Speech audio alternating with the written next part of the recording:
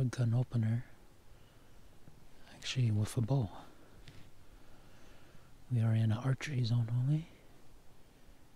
And there's a couple private lands surrounding us. And we're about probably about 80 to 100 yards from the border of a private land. And this is a nice little valley with a main trail that walks in front of me. There's a couple scrapes to my left.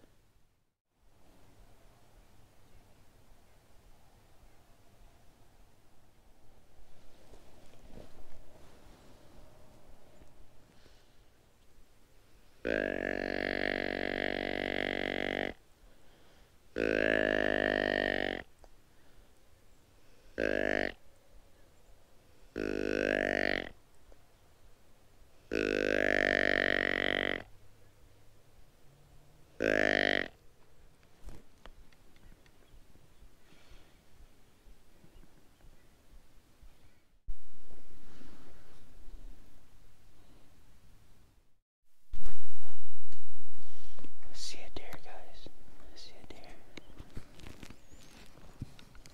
All the way over there.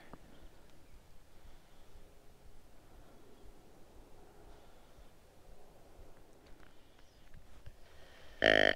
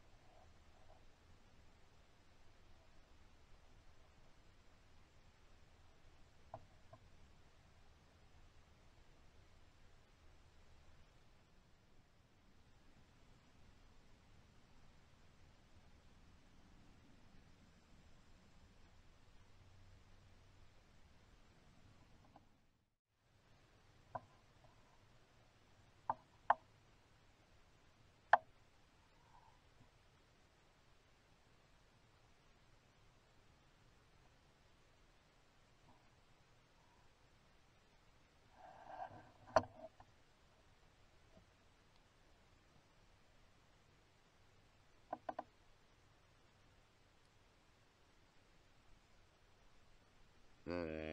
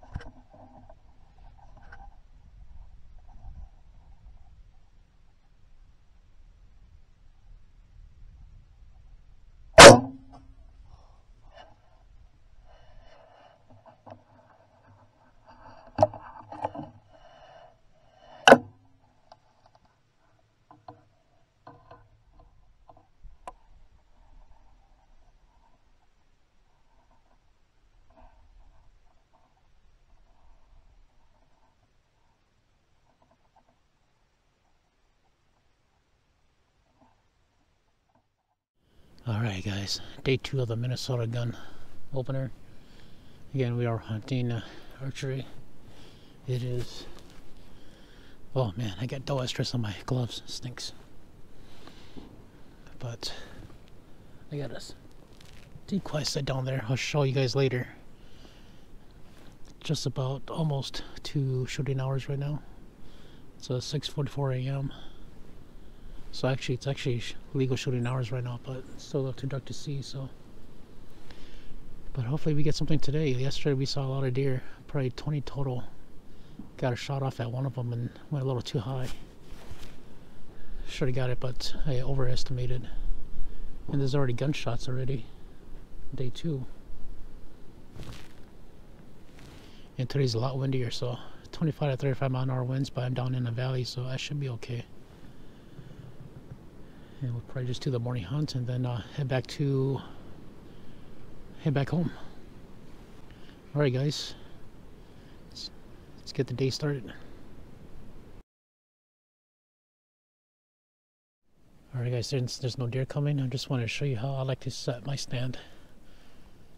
The deers will come from behind me and also from the front of me from over here and I'm a right hand shooter so I pull back with my right hand so the trail actually comes down right here like this to the decoy decoy's right there somewhere I like to set it so if they come from behind me this big old tree is kind of blocking my silhouette so they can't see. This stuff over here is pretty thick. And uh, there's a trail that comes from up there. It goes downhill like this. so when they come down the trail, they won't see me, but I can see them first. They'll come down like this. And right in front of me, right here. So I have an opportunity to get ready. Like right now my is just hanging right here. But this offers me an opportunity to see it first before they see me so I can grab my bow. Especially if I'm just talking like this or I'm just resting. But normally I have my bow in my hand ready to draw back if I need to. Because sometimes a lot of these deers they're coming in real quick so it doesn't offer you much time. doesn't offer you much time to get a shot. Especially for bow. But for a gun, it's a little easier. I could just keep the sling on me or something and just hold it and once there comes, just raise up and shoot. But with a bow, you still got to draw back and everything. But yeah, this is the area I'm hunting right here, so I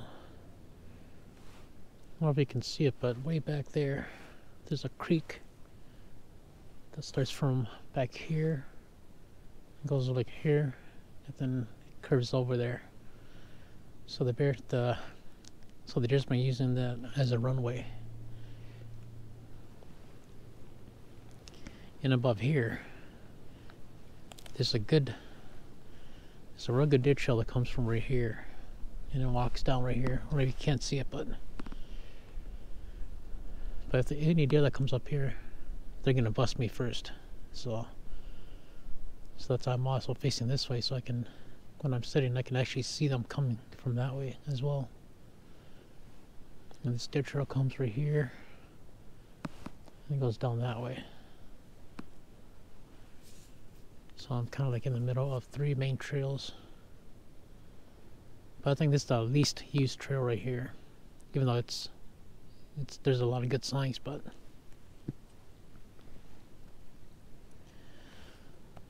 All the deer that I saw come from yesterday come from this hill, come down straight to all this fallen tree right here. And then the group of seven that I saw yesterday came from all that thick brush right there. Started coming in and I shot about 40 yards that way, but I missed. I overestimated. Yeah, there's some big fat squirrels. I don't know if you guys can see it from camera, but there's a big fat squirrel coming down the tree right now. There's a lot of fat squirrels here. It's amazing. But this is an archery only zone. Not you can't use 22, so so in order for you to take small game here, you have to use a bow. But anyways, thanks for watching. Keep watching, and we'll see if we harvest anything.